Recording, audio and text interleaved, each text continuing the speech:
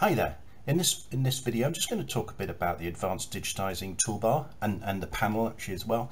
Uh, it's not a really really in-depth uh, view of every single function. It's just to cover off the sort of basic main functions and then just to get you started. Uh, many of my videos are like that really, just to kind of introduce tools to you so you can then go away and, and play with with them and um, learn about others on the same toolbar. So I've got this small scale map here, you know, quite zoomed out as you can see, it's the whole of Austria. Uh, and, I've, and I've drawn three simple, these are just hand drawn polygons. And what I want to do is, uh, is kind of move these around and rescale and a bit of transformation um, just on one of them, but also on, on, th on all three at the same time. And I want to apply the same rules, so perhaps the same distance of movement or the same rotation in degrees, that sort of thing, to all of them in one go. So to get started, we'll, um, uh, I've got a mix of, uh, I'll just turn on editing here. I've got a mix of uh, projections, uh, coordinate systems going on here actually. Um, I've, I've got a 3857 map, but uh, I've got a variety of um, layers in, in different projections. But uh, that, that shouldn't matter really for the purposes of just showing the, the, the functions.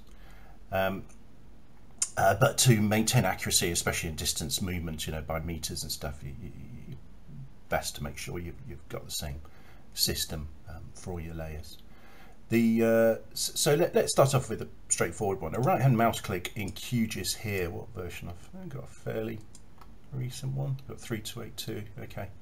Um, on right hand mouse click on the toolbars, you'll see uh, advertising, uh, advertising, advanced digitizing toolbar, and uh, also the panel. Might as well switch that on as well. Uh, advanced digitizing panel. You'll, you'll see the difference between these two shortly. So I've turned them both on, and this is what you get. You see, uh, there's the toolbar. There's this lot, and the advanced digitizing panels here.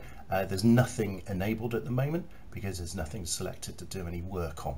So let's just get on with it. I've got I've got editing enabled there. So let's uh, I've got a selection tool already. Let's click on that object, and I've got these little red crosses, uh, little red X's that mark the vertices. Now you can just go away and do your normal editing and drag stuff and and all that sort of thing, you know, by vertex. But I want to move this whole feature, and that's what this is for. This button over here, move features. So I click on move features and because something's selected and I'm doing something to it, the panel becomes enabled. So now when I click on that feature, I can drag it, the whole feature to a new location. Okay, so I can move it over there. Um, and literally just move it to wherever I want. So that's how you move a whole feature. What, what if you want to move um, multiple features? I'll just, uh, because that's just one. And it's one because it's selected. That's a selected feature. So I'm going to um, click on select features again and, um, so, and then drag the mouse across these three. So now these three is selected. And now I'm going to hit, hit move button again, move feature. And this time, when I click on any of the yellow selected features, I get to move all three at the same time. You can see that that sort of dotted line, that sort of distance. You can see the angle graphic there as I do that. Come to that in a second. But manually, we can just reposition however we wish. So if I now click, they'll just stay there. So what about, um, I've moved them, but I want to keep the originals. But that's, that is what copy and move is for. So if I do the same thing with copy and move, click on my feature. As I do this and press click, I actually can get all these duplicated features basically. And it is adding them to the to, to your attributes table, you know, to, to, to your layer. So I can go forever. So it's copy and move, literally just that. So I'll just do a um, right hand click on there, current edits and rollback. And it'll get rid of all that. Right hand mouse click, just gets rid of uh, um, that those objects being moved. What else can I do? Well, there's rotate feature. So I click on rotate. No, things are still selected here. and then I click on any of them but because there's multiple selected it's going to do it to all of them so it's going to rotate I can force a particular value in there I'll come to that in a second in the in the, in the panel but I can rotate as as you know just see as I see fit. Right hand mouse click turns off rotate. This button here is scale. I'll zoom out a bit. Click on scale. Click on any you know on any feature to to as, as my um, focused feature effectively. So it's using that center point um, uh, especially for rotation. Um, but and then I, as I move the mouse the objects just grow or shrink.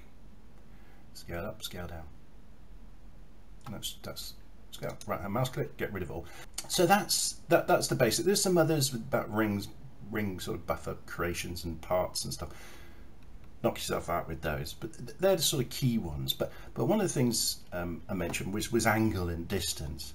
So I'm to I'm just going to select um, I just did the select tool clicked away or got deselected. But of course I can always click on this button here to deselect. Okay that's what that, that is for as well let's click on that feature again just mouse out middle mouse button I can drag the mouse uh, drag the map sorry um, I want to move this feature, let's say 10,000 meters uh, at a 35 degree sort of angle from the centroid of, of, of this feature. So how do I do that? That's really what this panel is about, advertising. Uh, advertising. the advanced digitizing panel is about. Um, and that's where you know you know the fixed sort of references you want to use, the fixed dimensions. So um, again, uh, I've still got to ed edit toggled on, it's still editable. Uh, I've got something uh, selected. So um, what I need to do is go to move. And as soon as I click on one of these features, you see this little set square and a ruler there, that actually turns on, activates and deactivates the advanced digitizing panel. That's all that's for. So I've got my feature. So I'm going to click on it. So now that's my feature to move. But I, like I said, I want it 35 degrees, so it's going to be sort of over here somewhere, and a good distance so you can clearly see it moving. Let's make it like 50,000 meters or something. So how do you do that? Well, you go into this dialog and you angle, that's A, type 35, and then in here I'm going to type 50,000. So it's going to be a fair move. So it's just to show it clearly. The problem is, as soon as I move my mouse pointer, it resets it all. So 35, 50, 0, 0, 0, 50,000, and then that is what the lock buttons are for. So I'm going to lock the angle, and I'm going to lock, um, type that in again, and then lock the distance. Now see what happens. The, the feature, even though I move my mouse over here, it is locked to that sort of course, that, that trajectory sort of thing. You know, it won't um, sort of break away any more than 50,000 as calculated by the sort of furthest point. Um, and, it, and you can see the 35 degree angle there, um, just in that, in that, bit there in the angle um, measurement. Um, and uh, you can see it's locked. So if I go up here and click, and now right, um, just press escape to clear it all. I've now got that feature sort of copied over to um, that, that location, which is 35 degrees, so it's sort of northeast um, and up to 50,000 um, meters away, uh, that, that furthest point. So I hope you find that useful to get you started.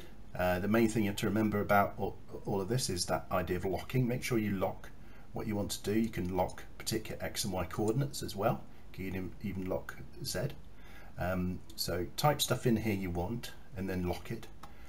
Because uh, don't forget, if, even if you lock that and then come to the mouse, the other one, Y, will still be moving, for example.